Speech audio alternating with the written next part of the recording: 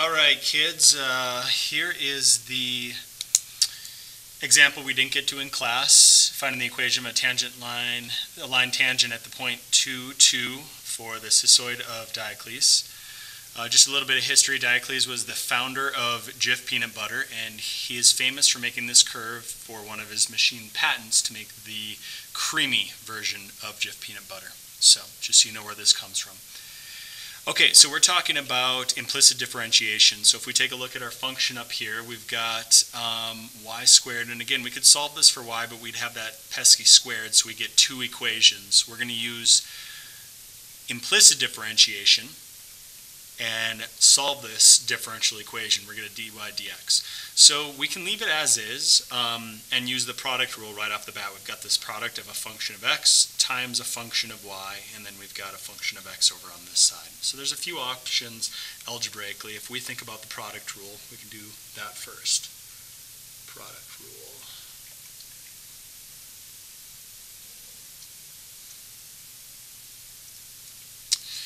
Okay, so um, the product rule is the derivative of the first. Remember, we're doing this um, in respect to x, like all of our derivatives so far, okay, and just like we practice in class.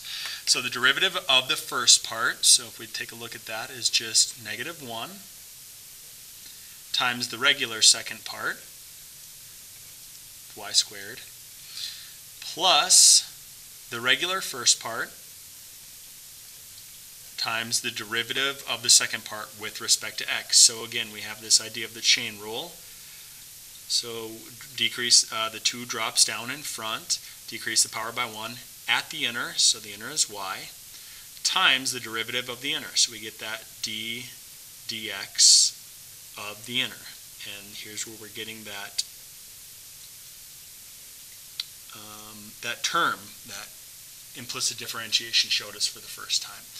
Okay, equals, on the other side, we can't forget about what's going on over here. So we do the derivative with respect to x, and we get 3x squared on that other side. So everything works out kind of nice as we'd expect over there.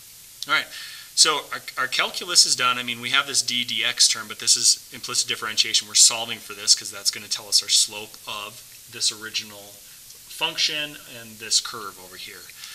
So we clean this up a little bit. We get negative y squared. If we multiply those um, right here, we get, we don't have any negative symbols, so we get 2y times 4 minus x times this quantity dy dx. So I'm just going to put a square bracket around that, kind of visually see that's the thing I want to try and get by itself. And over here, nothing really happen. So just cleaning up the algebra a little bit, I guess, to help my eyes um, with this process. So like right here is where we want to start getting this dy dx by itself, because uh, this is the slope, and we want it solved explicitly for that slope. So the first step is I'm going to undo uh, the addition and subtraction first before I undo multiplication. So I'm going to keep all of this stuff on this side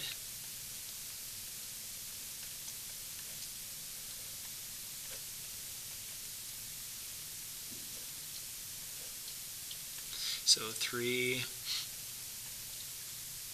times x squared, and we're adding y squared to both sides. We get that.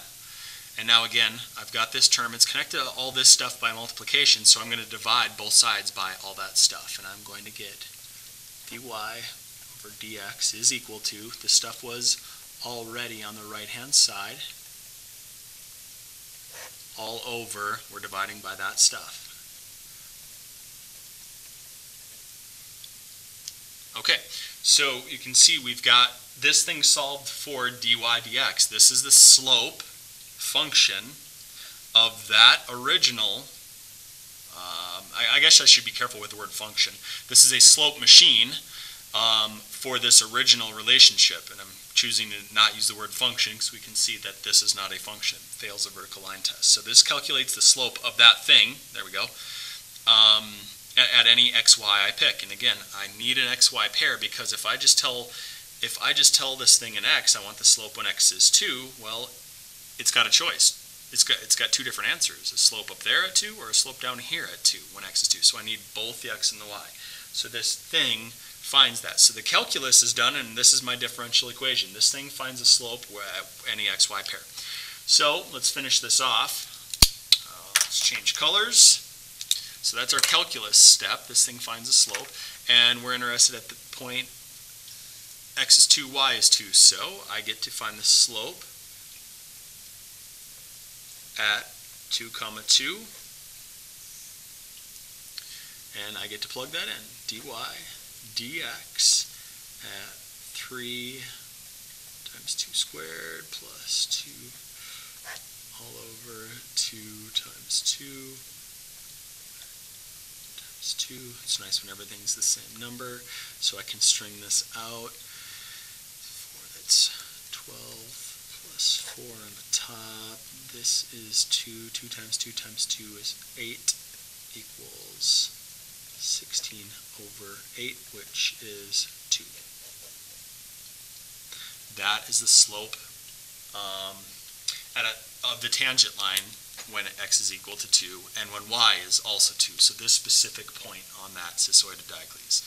All right, so what we were doing in class, and I suggest you guys all practice this, that's the slope, but I want to know what is the equation of a line tangent to it and just kind of verify my answer. So my preference is using the equation y equals mx plus b. We know at the point of interest the y is 2, the x is 2, and we found our slope to be 2. So the only thing we don't know is the y-intercept, and we go through and solve this for b. So b is equal to negative 2. That means our tangent line is y equals, slope is 2, x minus 2. This is the equation of tangent line.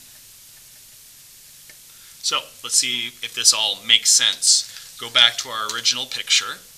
And if this truly is the equation of a line tangent at that point, well, let me graph this line. So I'd go down 2, that's my y-intercept, and I would go up 2 over 1. Up 2 over 1, up 2 over 1. Well, that's good news because the kiss is right there.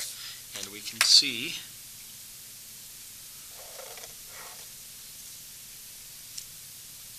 that that tangent appears to, uh, that that tangent line, or the equation of this line, appears to be the correct tangent for that. By the way, that history lesson was fake.